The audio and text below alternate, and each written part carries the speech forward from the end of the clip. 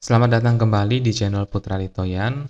Kali ini saya akan menjelaskan uh, tentang aplikasi surat masuk, surat keluar ya. Tapi aplikasi ini sangat sederhana, simple, tidak seperti aplikasi yang pernah saya sampaikan sebelumnya, di mana pada aplikasi tersebut ada form loginnya dan sangat lengkap dan kompleks ya. Namun pada kesempatan ini, ini untuk menjawab pertanyaan yang diminta membuat aplikasi surat masuk yang dilengkapi dengan upload berkas. Nah, seperti ini contohnya.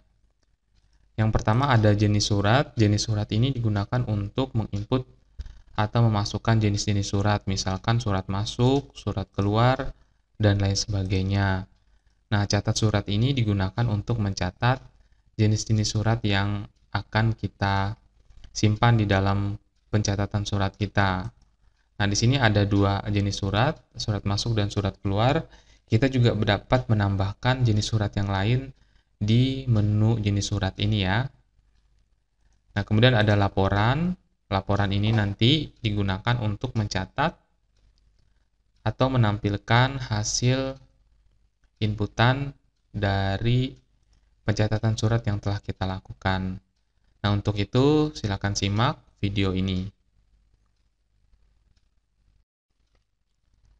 Oke, langkah pertama yang perlu kita lakukan di sini, kita membuat lembar kerja baru pada Microsoft Access. Dan di sini saya membuat nama database-nya adalah aplikasi catat surat ya. Yang pertama kita akan membuat tabel baru. Nah, tabel yang pertama yang akan kita buat adalah tabel jenis surat ya.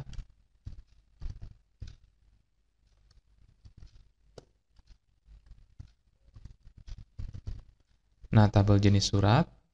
Nah, dari tabel ini nanti akan diisi data-data jenis surat, misalnya surat masuk, surat keluar. Oke, kemudian yang pertama ini kita buat saja namanya ID jenis surat ya. Nah, di sini kita buat auto number. Kemudian field yang kedua adalah jenis surat. Nah, untuk jenis surat ini data tipenya kita gunakan short text saja karena tidak terlalu panjang juga karakter yang akan kita masukkan. Nah, untuk field propertiesnya di bagian file size-nya uh, kita gunakan yang default saja 255. Nah, jika sudah ini kita simpan. Lalu kita tutup ya. Kemudian selanjutnya kita akan membuat tabel baru yaitu tabel surat. Silakan pilih menu create kemudian pilih tabel. Kemudian klik kanan, pilih design view. Kemudian kita rubah namanya menjadi tabel surat. Nah, di bagian yang pertama, di sini kita akan membuat field yang bernama nomor surat ya. Nah, untuk data tipenya, karena biasanya nomor surat itu tidak auto number, kadang-kadang berbeda dari nomor surat yang lain. Di sini kita buat data tipenya adalah short tag, dan di bagian field ini untuk nomor surat ini kita aktifkan primary key-nya. Supaya nomor surat yang sama itu tidak akan terinput. Nah, kemudian yang kedua adalah tanggal. Tanggal surat. Tanggal yang tertera di surat ya. Di sini kita akan pilih data tipenya adalah date time. Kemudian, selanjutnya adalah jenis surat. Jenis surat. Nah, kemudian di bagian data tipenya kita gunakan short tag. Lalu di bagian lookup-nya, di bagian field properties, klik lookup. Di sini kita rubah menjadi combo book. Nah, kita rubah menjadi combo book karena nanti inputannya itu berupa pilihan. Dan pilihan itu diambil dari tabel jenis surat. Nah, di bagian row source-nya silahkan kita klik titik tiga ini ya. Nah, kemudian akan muncul dialog show table. Kita pilih saja tabel jenis surat. Nah, kemudian pilih button add. Setelah itu close. Kemudian pilih jenis surat. Nah, seperti ini ya. Setelah itu kita simpan. Nah, kemudian kita tutup.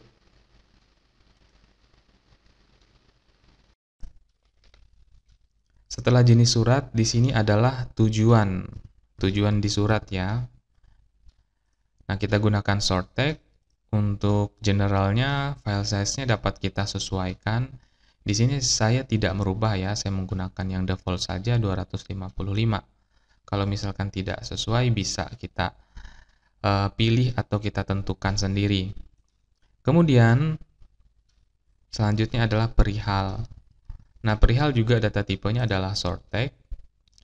Lalu setelah itu, yang terakhir adalah file surat atau scan.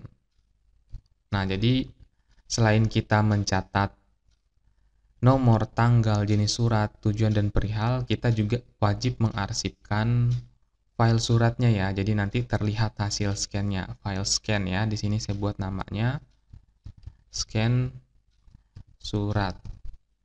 Nah, karena di sini berupa lampiran file, untuk data tipenya silakan kita rubah menjadi attachment seperti ini ya. Oke, jika sudah ini kita simpan. Kemudian kita tutup. Nah, sekarang selanjutnya kita akan membuat form input untuk kedua tabel ini. Yang pertama kita akan buat untuk tabel jenis surat. Silakan diklik bagian tabel jenis surat ini, kemudian pilih menu create, lalu pilih form. Nah, kita perhatikan di bagian form akan secara otomatis mengenerate data-data dari tabel jenis surat sehingga berbentuk form input seperti ini. Selanjutnya kita klik kanan dan kita akan desain supaya form ini memiliki button simpan, edit, dan delete. Bahkan ada button navigasinya ya. Oke, kita akan desain. Oke, kita mulai dari formnya terlebih dahulu. Silakan klik Ctrl Alt, Ctrl Alt pada keyboard ya. Kemudian kita akan rubah jenis tulisannya, pilih menu format, kemudian tentukan jenis tulisannya, misalkan di sini saya akan menggunakan Arial, lalu untuk warna tulisannya saya gunakan yang hitam saja. Nah, setelah itu saya akan rubah judulnya. Di sini namanya adalah form jenis surat. Nah, di sini kita perkecil saja.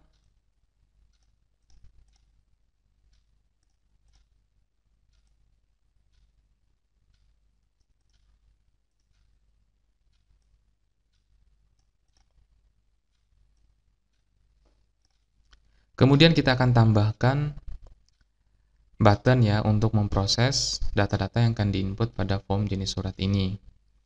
Silakan pilih menu desain lalu tambahkan form. Nah, button yang pertama ini akan kita gunakan untuk navigasi ya. Jadi ketika muncul command button wizard ini kategorinya kita pilih record navigation lalu kita pilih go to previous record. Next. Nah, apabila kita memiliki icon atau gambar yang ingin kita input atau kita lampirkan pada button, kita dapat memilih menu browse. Nah, sebagai contoh di sini saya sudah ada ya mendownload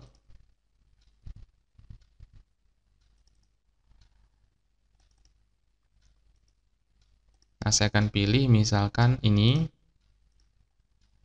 lalu next. Setelah itu, di bagian command button wizard tab yang ini, kita dapat mengganti caption command button 8 ini ya, atau kita tetap menggunakan secara default yang ada saja. Nah, biasanya saya jarang mengganti, saya menggunakan yang sudah ada. Kemudian pilih finish. Nah, sekarang sudah muncul ya gambarnya. Selanjutnya kita akan masukkan button untuk membuat data baru. Command button wizard, kategorinya kita pilih record operation, lalu pilih add new record. Nah, setelah itu kita pilih teks. Di sini kita buat saja namanya menjadi data baru ya.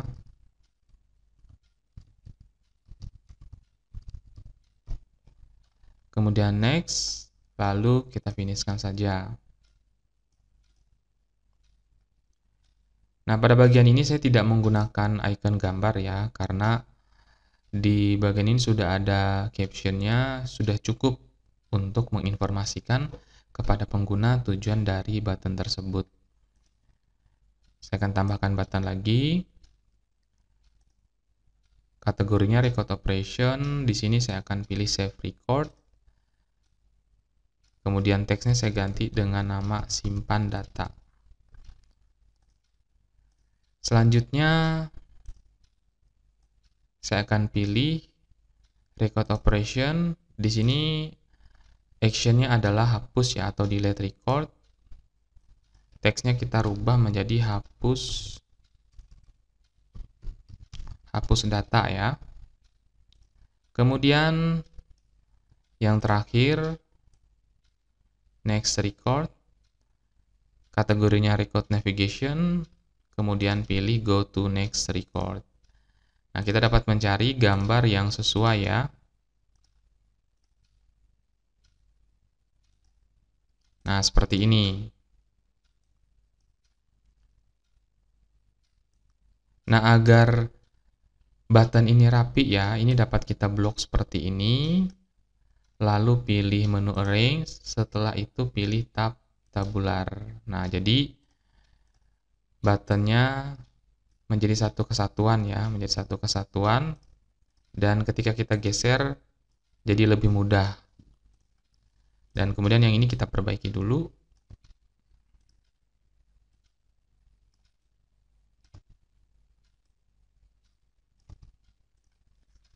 Oke, sekarang sudah.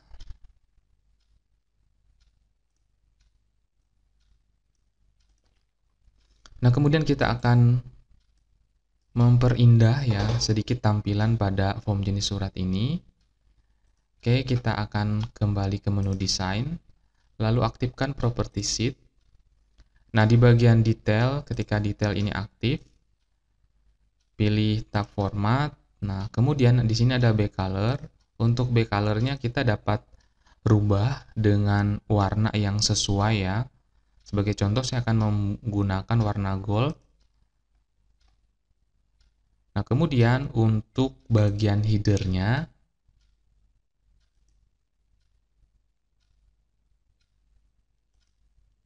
bagian form header ya. Back colornya saya pilih misalkan warna biru seperti ini. Nah, kemudian di bagian form ini di bagian form ya. Di bagian outer ini kita aktifkan pop-up-nya yes, kemudian modalnya juga sama, yes juga. Nah, lalu setelah itu di bagian format di sini ada auto center, ini kita pilih yes saja. Lalu Record selectornya kita nonaktifkan, navigation buttonnya juga sama kita nonaktifkan. Nah kemudian untuk border style ini kita gunakan yang dialog, boleh menggunakan yang sizable ini ya. Nah di sini saya menggunakan yang dialog. Kemudian kita akan tambahkan lagi di bagian form yaitu retangle Nah, retegel ini hanya untuk memperindah saja ya. Nah, kemudian di bagian format, ketika retegel ini muncul ya, propertiesnya border atau backcolornya kita rubah ya. Nah, backcolornya kita rubah menjadi warna putih. Nah, seperti ini. Kemudian klik kanan, lalu kita posisikan berada di belakang. Nah, jadi seperti ini hasilnya. Nah, yang terakhir kita harus menyimpan form ini. Kita buat saja namanya vrm jenis surat ya. Kemudian oke. Okay. Setelah itu kita akan lihat hasilnya. Nah, hasilnya seperti ini ya.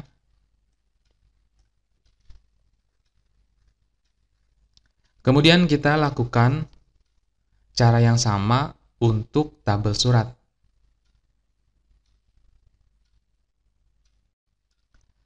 Nah, pada bagian tabel surat, eh, bentuk formnya seperti ini ya. Saya sudah menambahkan button untuk memproses data yang akan dimasukkan.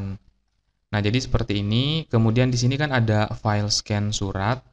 Nah, ini harus kita pisah ya. Nah, cara memisahkannya, kalau misalkan seandainya kita membuat form melalui menu create, setelah itu kita pilih form, ini kan tergabung menjadi satu bagian. Ini kita pisah, diklik seperti ini, lalu pilih arrange, kemudian remove layout. Nah, baru ini dapat kita pisah ya. Untuk file scan-nya kita uh, letakkan di sini saja. Nah, seperti ini.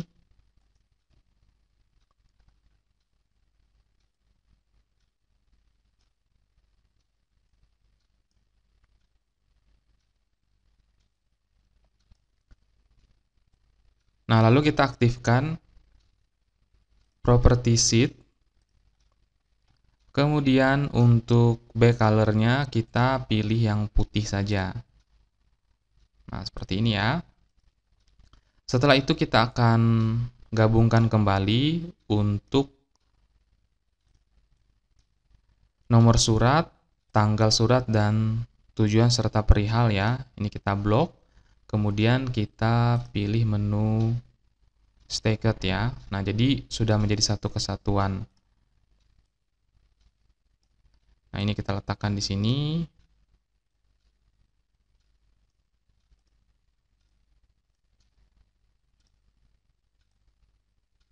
Nah, lalu setelah itu kita tambahkan di menu desain ini retegel ya, sama seperti form sebelumnya. Kita letakkan di sini saja. Nah, aktifkan property sheet-nya. Kemudian color-nya kita rubah menjadi warna putih. Setelah itu, klik kanan, positionnya kita letakkan di belakang. Oke, kita rapikan ya, supaya form ini terlihat profesional. Kemudian, di bagian judulnya, kita rubah menjadi form input surat.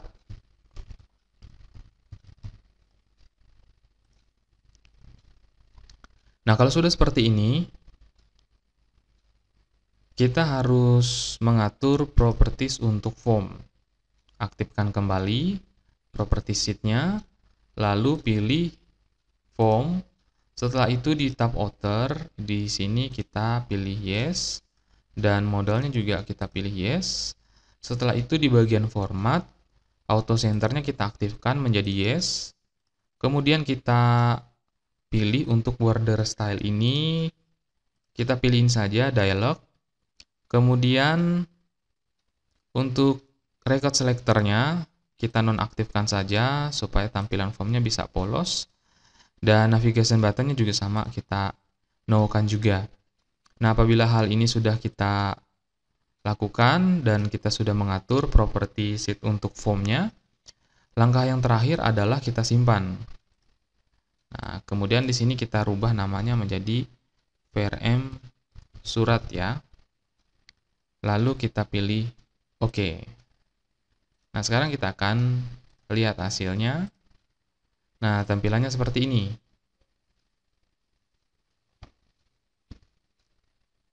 Nah, cara memasukkan atau menggunakan aplikasi ini, perhatikan di bagian jenis surat ini kan kosong, karena kita belum mengisi pada form surat. Nah, terlebih dahulu kita isi form suratnya ya. Form jenis suratnya maksud saya. Klik jenis surat. Nah, karena di bagian ID ini otomatis, auto number, ini tidak perlu kita isi karena akan terisi otomatis. Nah, jenis surat yang pertama misalkan surat masuk. Kita simpan. Kemudian yang kedua adalah surat keluar. Kita simpan. Dan seterusnya ya, jenis-jenis surat seperti itu dapat kita inputkan di form jenis surat ini. Kemudian kita akan membuka form surat. Nah, nomor surat yang pertama misalkan PT titik 123 ya ini nomor suratnya 2020 atau 2021 tanggal surat nah di sini kita sesuaikan dengan tanggal yang ada di surat. Nah kemudian untuk jenis surat ini berdasarkan data ya berdasarkan data yang ada pada tabel jenis surat. Sebagai contoh di sini kita akan memilih surat masuk Nah, tujuannya misalkan ke PT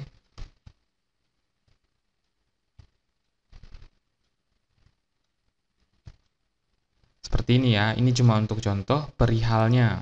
Nah, perihalnya misalkan mohon kerjasama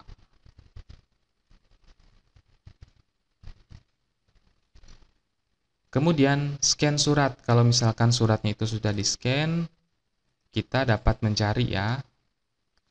Nah, klik add, lalu misalkan contohnya di sini saya akan menggunakan ini contohnya ya. Oke, nah seperti ini hasilnya. Nah, lalu kita simpan data. Kemudian selanjutnya kita akan membuat form utama ya, agar proses penggunaan aplikasi ini bisa memudahkan. Nah, untuk membuat form utama, kita gunakan saja ini blank form ya, pilih menu create lalu pilih blank form. Nah, setelah itu klik kanan design view. Kita aktifkan menu design, lalu di sini kita letakkan retegel ya di bagian ini. Kemudian kita aktifkan property sheet-nya. Nah, untuk retegel ini, untuk back color-nya, ini jangan dibuat transparan. Kita aktifkan saja warna biru saja ya. Kayak seperti ini. Setelah itu, untuk formnya di bagian form ya perhatikan di bagian detail ini back colornya kita rubah menjadi warna ini saja. Lalu setelah itu kita klik kanan pada bagian form ya kita akan aktifkan form header dan footer karena ini tadi kan uh, kita gunakan blank form ya. Nah, setelah itu kita perhatikan di sini terdiri dari form footer ini kita kecilkan saja. Kemudian untuk form headernya sama kita buang seperti itu ya. Jadi kita kecilkan. Nah, kemudian kita aktifkan property sheet-nya, pilih form lalu outernya di sini kita pilih yes, modalnya juga sama, kita pilih yes juga Kemudian di bagian format auto centernya ini kita aktifkan, pilih yes saja. Navigation button ini kita no kan. Ini juga sama record selector. Akan tetapi untuk border style ini tetap sizable ya. Nah, sekarang kita akan simpan namanya menjadi form utama. Oke, sekarang kita akan lihat hasilnya. Nah, kira-kira hasilnya seperti ini ya. Nah, di sini harus kita perbaiki. Nah, kita perhatikan untuk retaggle-nya ketika form ini dimaximize, retaggle-nya tidak mengikuti. Dia tidak responsif ya. Nah, hal ini yang harus kita perbaiki. Nah, cara memperbaikinya adalah sebagai berikut. Silakan di bagian retaggle-nya kita klik Kemudian pada selection tipenya ini harus box 0 ya atau retaggle ini sudah aktif. Kemudian kita pilih horizontal anchor-nya ya. Ini kita pilih both. Nah, untuk vertical core-nya kita tetap pilih top saja. Oke. Kemudian kita simpan dan kita jalankan kembali. Nah, sekarang kita akan maximize. Nah, perhatikan secara otomatis ya akan mengikuti ukuran daripada form utama. Oke, kemudian kita akan tambahkan baris perintah atau button di form ini ya. Nah, button yang pertama yang akan kita masukkan adalah button untuk memanggil form jenis surat. Nah, jadi kita pilih saja di bagian kategori ini adalah form operation. Kemudian actionnya adalah open form karena kita sedang memanggil form. Next, nah kemudian kita akan pilih form mana yang akan kita panggil. Nah, form yang akan kita panggil adalah form jenis surat. Next, kemudian next, Apabila kita ingin menggunakan gambar, silakan pilih browse, kemudian kita cari gambar yang sesuai ya. Misalkan contohnya ini ya. Nah, contohnya ini saya akan menggunakan ini saja. Next, finish. Nah, perhatikan di sini sudah muncul ikonnya. Nah, kemudian saya akan menambahkan teks juga untuk memberikan informasi pada icon ini. Nah, ini kita rubah, misalkan di sini adalah jenis surat. Nah, jenis suratnya captionnya tidak muncul. Nah, kita perhatikan di bagian format ya. Untuk picture caption arrangement-nya di sini kita rubah menjadi right. Jadi posisinya di kanan seperti ini.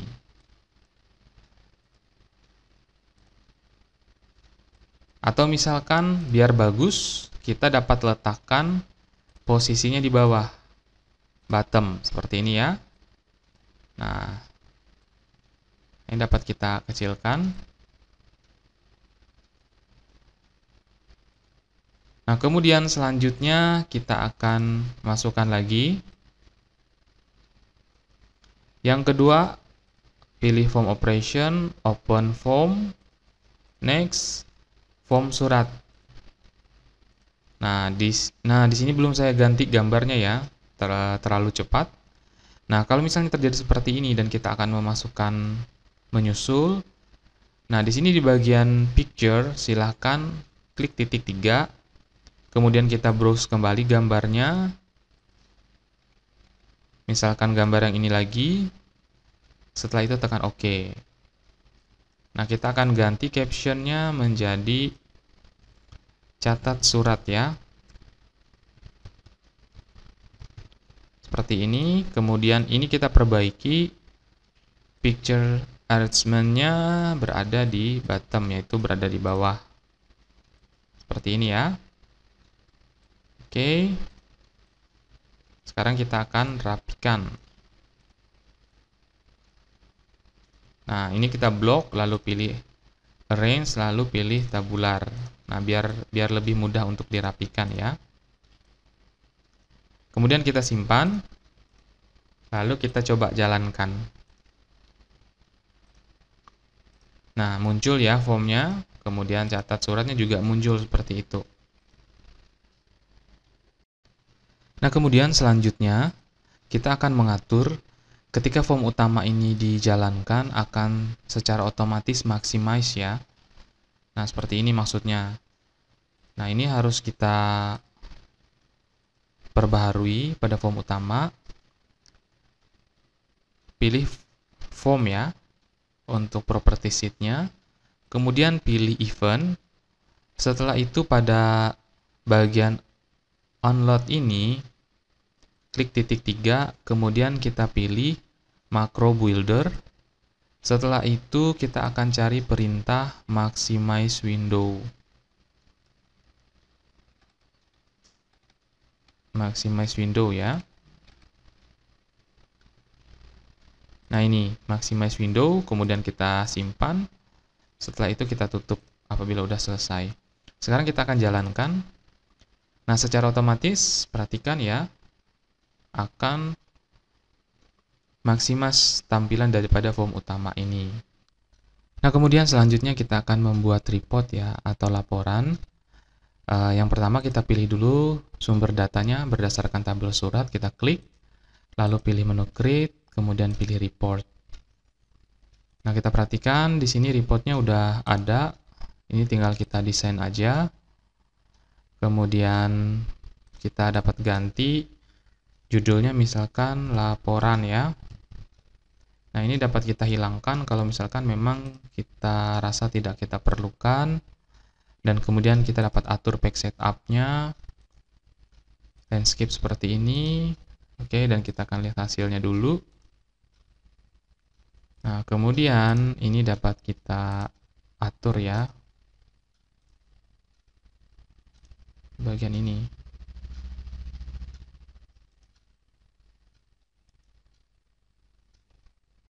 Nah, sehingga hasilnya nanti seperti ini ya. Nah, kemudian kita kembali desain ya. Nah, ini dapat kita perlebar supaya tidak terpotong informasinya. Kemudian kita aktifkan property sheet. Lalu di bagian report. Nah, di bagian format kita di sini dapat melihat e, berbagai pilihan yang bisa kita gunakan ya mulai dari all, outer. Nah, untuk outer ini, ini kita aktifkan menjadi yes saja, no-nya juga sama ya, kita aktifkan jadi yes untuk pop-up dan juga modal. Nah, setelah itu, pada bagian form atau report ya, nah di bagian event ketika dia unload, di sini kita pilih macro builder. Kita cari perintah maximize window ya. Nah kemudian kita simpan. Yang artinya ketika nanti form ini dijalankan atau aktif maka tampilannya akan maximize. Nah kemudian kita juga dapat mengganti uh, warna pada tulisan yang ada dalam report ini Nah, setelah itu kita akan jalankan reportnya atau kita tambahkan pada form utama ya. Klik kanan, form utama. Setelah itu kita tambahkan button. Kita letakkan di sini saja. Di sini buttonnya kita pilih report operation, kemudian open report. Nah, ini belum muncul karena reportnya belum kita simpan ya. Jadi kita cancel dulu, kita hapus. Nah, report ini harus kita simpan. Namanya adalah R laporan ya. Ya, sekarang kita akan tutup. Nah, kemudian kita ulangi proses yang tadi. Kita letakkan di sini report operation, open report, next. Nah, sekarang baru muncul ya. Next. Nah, kita akan menggunakan gambar yang saya download ya. Misalkan gambarnya yang ini saja yang sesuai. Nah, di sini saya buat namanya atau captionnya adalah laporan. Kemudian saya akan aktifkan property seatnya bottom seperti ini ya.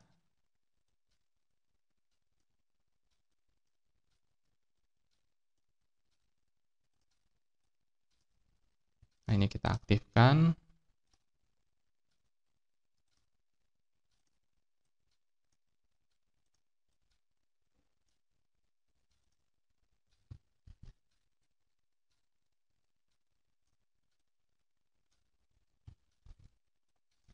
Nah, ini kan akan saya atur dulu ya. Nah, kemudian ini kita geser. Sekarang kita akan simpan, kemudian kita coba jalankan. Kita klik report. Nah, muncul reportnya ya. Nah, seperti ini.